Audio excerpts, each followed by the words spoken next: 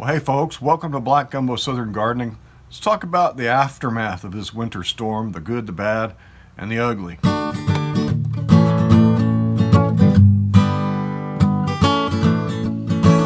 Well, they're doing rolling blackouts now.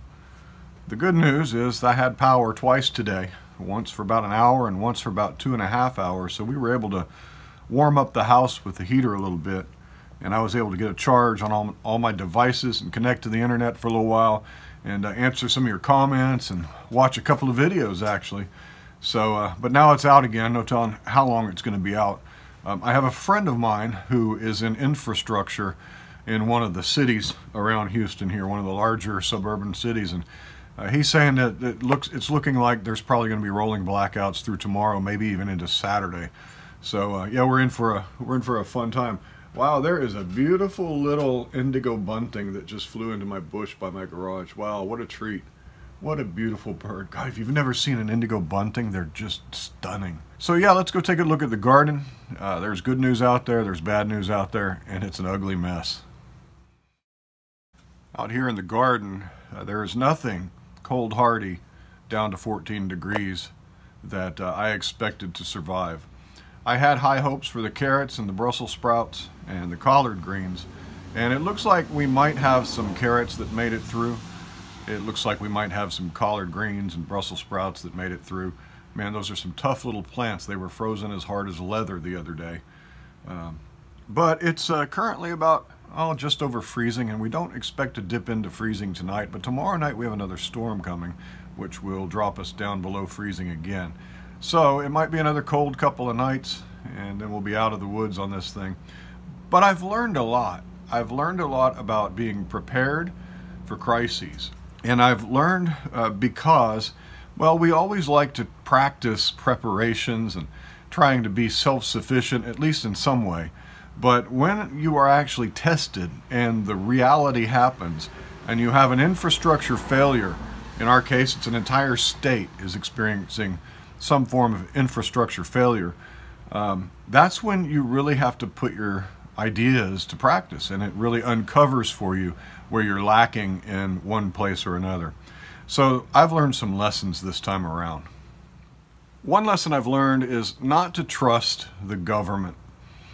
Um, I've done this in the past and uh, listened to the government. We were in the Katrina evacuation from Houston and we had to pass through Houston. We were trying to get to Dallas. But in 23 and a half hours of driving, most of that stood still. Most of that seeing people pulled off on the side of the road. Uh, riots at grocery stores. I had to pull my gun at a gas station to uh, protect my wife and daughter. And uh, yeah, it was it was um, it was crazy out there. But the government had told us that gas was on the way. Um, they had told us that uh, the roads were clearing up ahead. They told us they were going to open up the other side, the, the inbound side of the freeways to traffic to relieve the congestion. It took us 23 and a half hours to travel what would have taken us 45 minutes. Um, the government told us wrong. There were no trucks. You can't, you can't pump gas into your car from a tank truck easily. Uh, they weren't going to give away gas for free. Um, anyway, we listened and we were told that we could exit the freeway whenever we wanted, but that was not the case. The government locked down the exits and uh, we were trapped and we learned from that. Uh, this time around, the government told us that, well, we're going to do rolling blackouts. The Texas Energy, uh, the commission that handles energy on the Texas grid, said, yeah, this, this will be handled by rolling blackouts. You'll be out of power for a couple hours and then we'll turn your power on for a couple hours. And that'll last a day or two.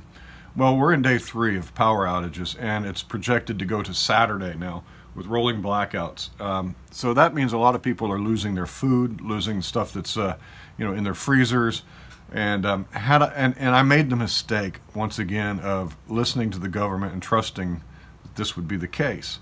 Um, I wish I hadn't. I would have quickly then um, acquired a generator and because I have access to a generator. I've never used it, I've never started it, and I don't know where the instruction manual is. But had I not trusted the government, I could have taken care of that earlier.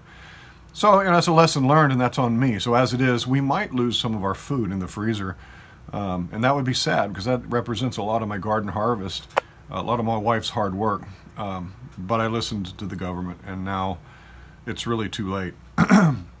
so that's one lesson that I've learned. With the corruption in the various agencies now becoming apparent as this Texas disaster unrolls, it's, uh, it's, it's really something that I should have anticipated. Another thing I learned is that, that my water storage is very necessary.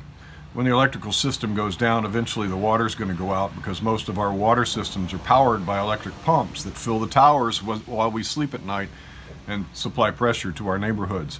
Uh, well, everyone's draining their faucets to keep their pipes from bursting and drain to the tower. And um, yeah, now that's uh, there's no water. Well, they obviously brought a generator in the second day, pumped up the tower, and we've got water again. But there's another thing you have to consider.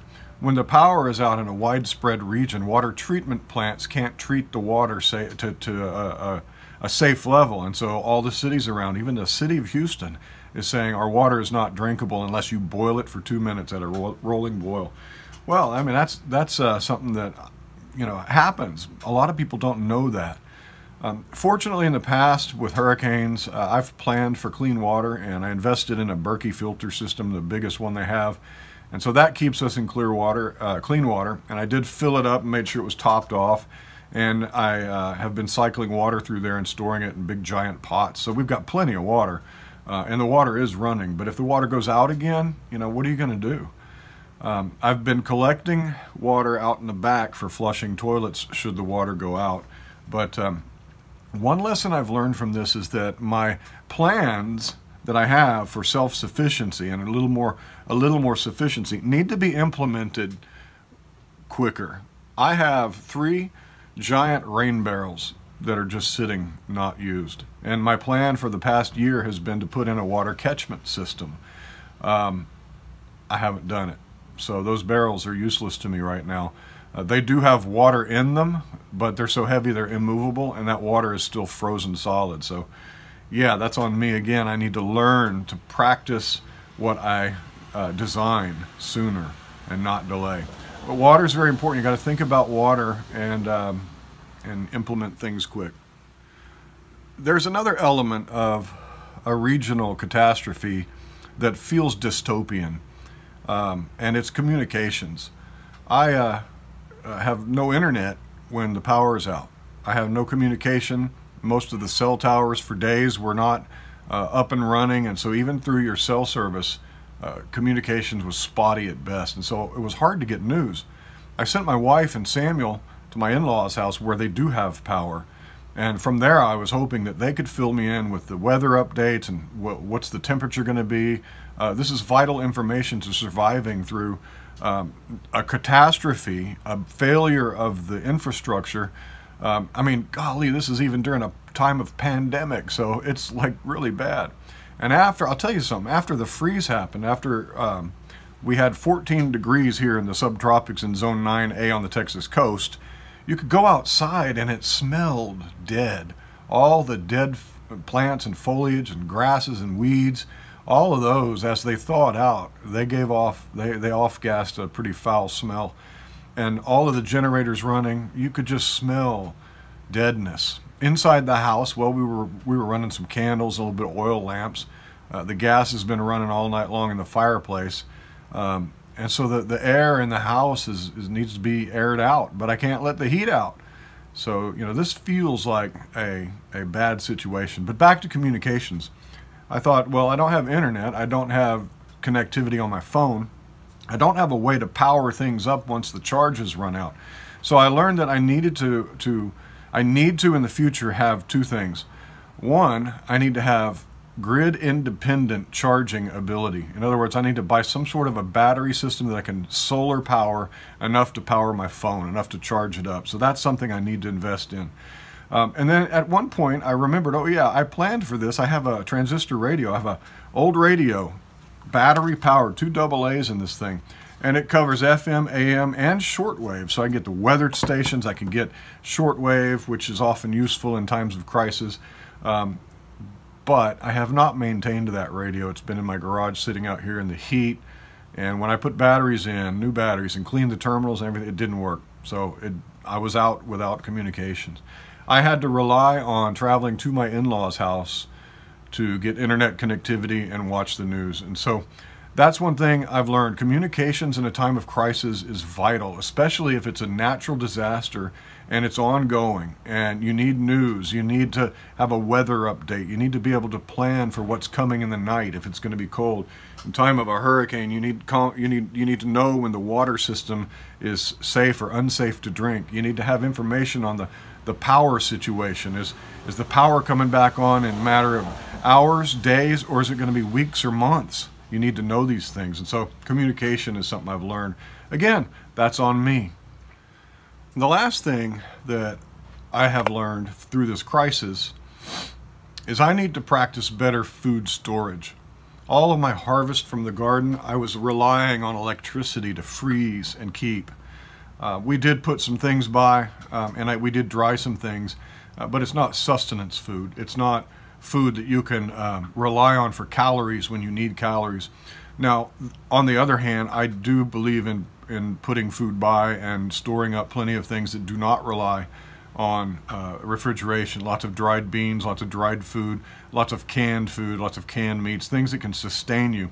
And uh, I've always suggested you have at least a month's worth of food that you can eat somewhere in your house, uh, stored away, and uh, we've got that.